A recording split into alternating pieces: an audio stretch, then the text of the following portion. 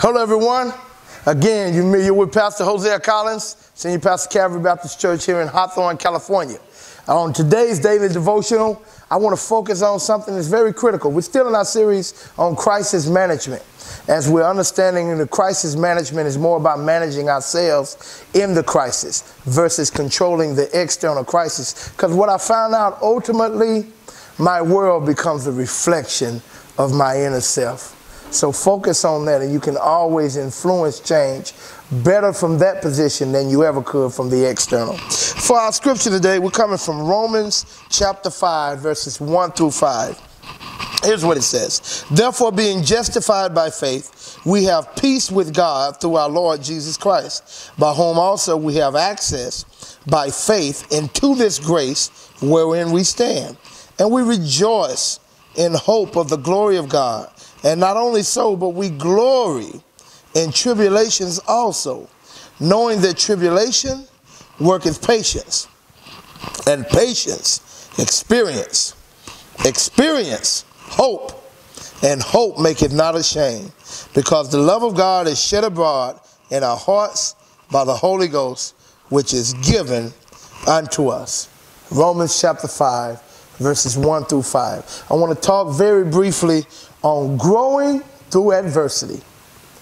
Growing through adversity. See, we all face adversity, but we've got to get beyond just going through it.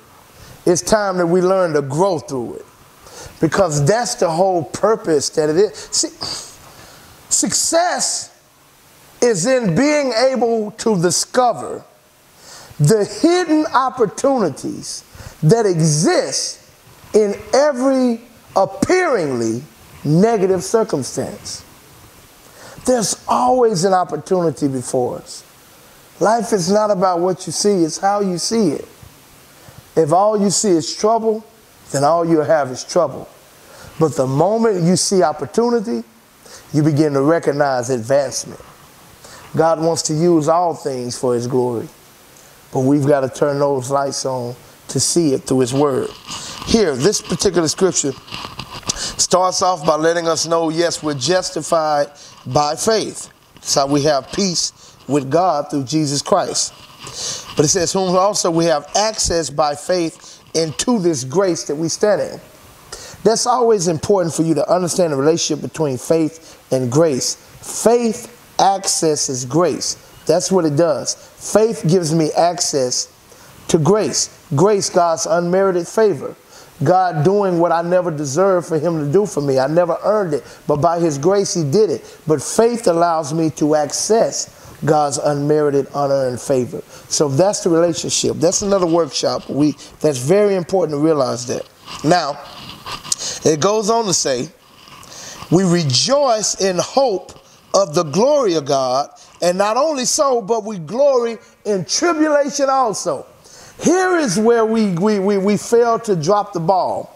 The Bible says we glory in tribulation also. You say, Preacher, why would you glory in tribulation? That doesn't make any sense. Because tribulation provides opportunities.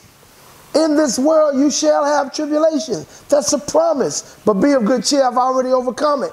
Tribulation can be an elevator if you see it the right way.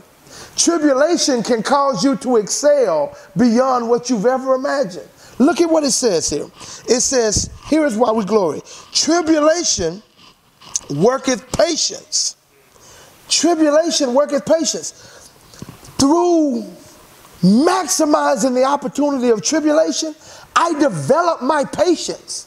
And patience is not just about waiting. Patience is about maintaining a good attitude while you wait. Patience is about persevering. Patience is about your spiritual stamina, knowing how to hold out until the end. Patience is what requires you to reap if you faint not.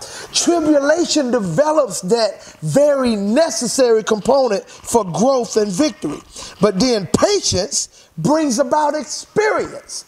So the only way you can get experience is by going through tribulation that develop patience. And once you gather that experience, experience produces hope. And this hope is what causes you to not be ashamed. Oftentimes, what we fear is being embarrassed, which means we need to go through the process, which means I've got to grow through adversity. You would not be the child of God you are had you not experienced and overcame the things God grew you through. Things don't grow on the mountaintop as much as they grow in the valley. If God's got you in the valley, He's trying to grow you. And I'll close on this. We talk about our blessing is tailor made. What God has for me, it is for me. That's all good. That's true. And it is tailor made.